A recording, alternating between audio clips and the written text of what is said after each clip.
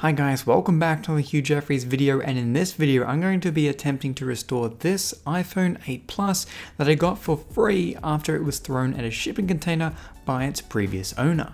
They told me they threw it because they weren't able to change the brightness of the LED flash in Control Center. I also heard that it had a screen replacement only weeks beforehand. The frame is snapped off at the top of the iPhone and the screen is separating from the frame. The whole frame of the phone also appears to be twisted, and even as a result of all this damage that's occurred to this iPhone, the camera lens and home button appear uncracked. Although I'm not actually sure whether the home button is functioning just yet, so I'll need to take a look at that later on. But first things first, let's see if this phone shows any signs of life. I connected up the charger and nothing appeared on the display, although after a few minutes it did vibrate and the home button appeared to be clicking and the device appeared to be vibrating. So with that happening, I have a good feeling that the display is just dead. So to test my theory, I'll need to remove the old display and connect up a brand new one just to test out the phone to see if it actually boots to the lock screen.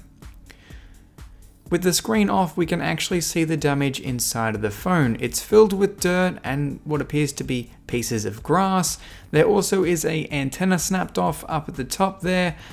But before I attach a new display, I'm going to disconnect some of the stuff from the top of the phone. Firstly, I'm going to remove the camera and take a look at that.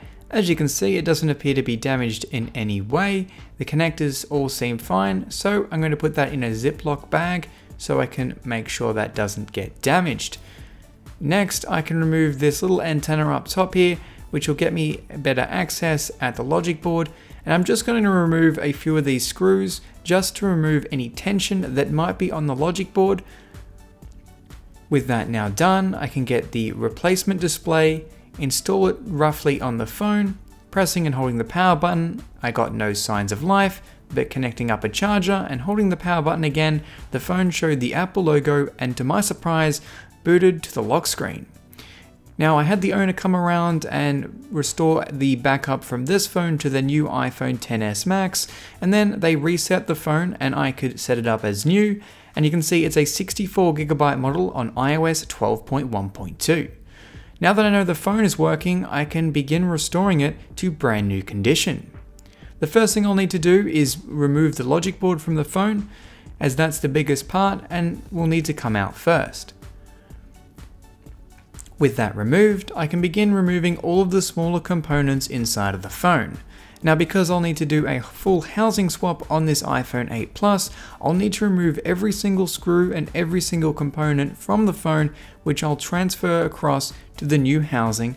I will also need to remove the Taptic engine before I remove the battery from the iPhone, as this will give enough clearance to hopefully remove the battery tabs without breaking them off, which otherwise would require me to pry up the battery with force. These tabs are very strong and honestly are quite a poor design choice for holding in a battery. Unfortunately, a few tabs broke, but I was able to retrieve them with my tweezers and remove them fully. I have noticed with the iPhone 8 and 8 Plus models, these battery adhesive tabs are really strong compared to say the iPhone 6 and 6s. However, with these 8 Plus battery adhesive tabs, because there's four of them, if you break one, it makes it much easier to pry up the battery. Next, I can move along to the dock connector. I will actually be replacing the dock connector with a new one, just because I had one around, but I'll also need to remove it first so I can get off these grill pieces and also the white waterproofing gasket that goes around the end of the lightning connector. After I complete that, I can move along to the power button and volume flex cable which is fastened to the phone with a few screws and the cable is adhered to the back panel of the iPhone so I'll need to be careful when removing that so I don't rip or damage that cable. With that removed, I can move along to a few of these brackets which are located on the side of the iPhone 8 housing. These brackets are clips for the display to attach to the iPhone. After that I could use a heat gun to heat the back of the iPhone so I could remove the wireless charging coil. Lastly, I can remove these little metal clips from the back of the volume and power buttons. With that now done, the iPhone is completely empty and we have an abundance of parts on my desk. So it's time to reassemble this iPhone with a new housing. This housing cost me around 35 Australian dollars and is complete with a new frame and back glass, which is needed for this iPhone. I'll start by inserting the power and volume buttons and these little metal clips which go on the back of them. Then I can begin with all of these smaller parts which will need to go on before I install the bigger ones. These include the clips for the display and the dock connector which I'll put in next. And for those wondering what replaced the headphone jack, it appears to be just this little piece of plastic that I don't see has a whole lot of function. With the dock connector and smaller components installed like the Taptic engine, I can remove the plastic film and adhere down the dock connector. I can then install the loudspeaker on top of that and its appropriate screws and antenna cable.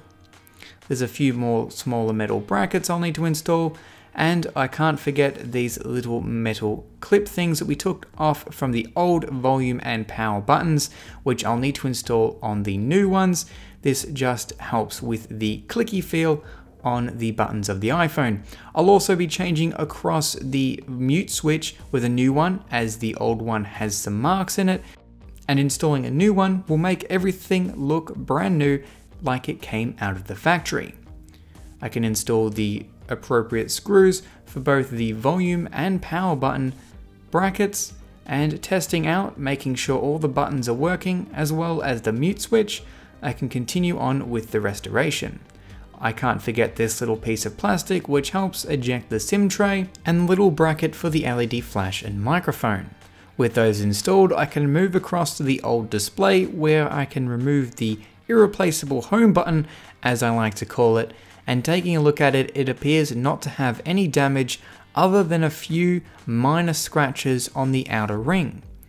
I can install it in the new refurbished display connecting it up and installing its bracket and tri-wing screws. It should also be noted that this home button is not user replaceable as it's paired to each iPhone, so if it was broken I would have to resort to a Bluetooth button or pay Apple $278.95 for them to do a full screen replacement on the phone which then they would pair a new home button.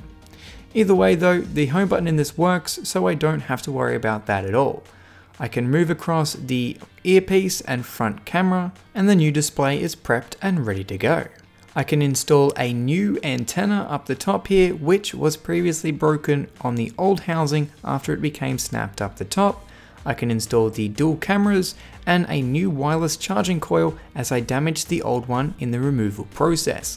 I highly recommend buying a new wireless charging coil if you do a housing swap on an 8 or 8 Plus because they are extremely fragile and you're almost guaranteed to break it in the removal process. And finally, it's time to reinstall the logic board back into the iPhone frame and things are now starting to look like a phone again.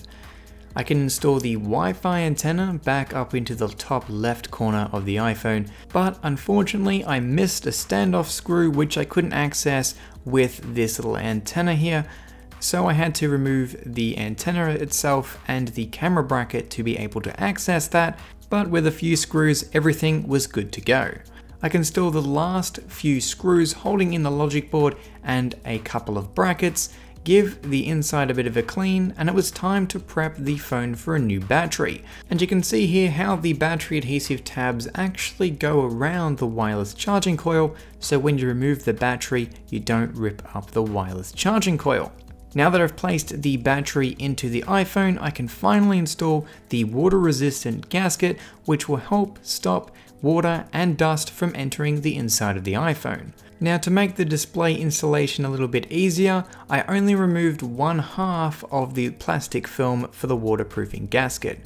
The reason for this is it allows me to be able to connect up the display and install the brackets without getting the gasket in the way and becoming stuck on the display before I install it and seal it down. With the cables and connectors installed, I can seal down the display and install the two pentalobe screws in the bottom and remove the plastic films from both the back and front and install a tempered glass screen protector. And we're done. So this is it, the free iPhone 8 Plus which was completely catastrophically damaged has now been restored to brand new condition with a new display, new back, new battery, dock connector and a few other small components, this iPhone 8 Plus cost me a total of 139 Australian dollars. To put that into perspective, Apple is still selling this iPhone brand new for 1,149 Australian dollars. And if you calculate that, that is a saving of $1,010. That is insane. So this has been an excellent deal for me, and everything on the phone is fully functioning, including the home button and rear facing cameras. For those wondering, yes, the battery health shows up at 100% in settings, and just to confirm, this is a 64 gig unit on 12.1.2. However, there is one issue I can't fix, and that is the True Tone function. As you can see, the iPhone 10 on the left has an option in display and brightness for True Tone, and that option is completely missing from the 8 Plus. Now that is because the display has been replaced and the phone knows it isn't the original screen. To fix this, I would need to transfer the data across from the old panel to the new one. The only issue being I don't have the original display for this iPhone as the one that was on it when I received the phone was a replacement screen. So this is a small defect, but either way, for the price of the iPhone, I'm not going to worry. And on that note, this has been a Hugh Jeffreys video. If you like what you saw, hit that subscribe button and consider checking out the phone restoration playlist for more videos just like this one. Also, make sure to follow me on my social media, link for which is down in the description. That's all for this video, and I'll catch you guys next time.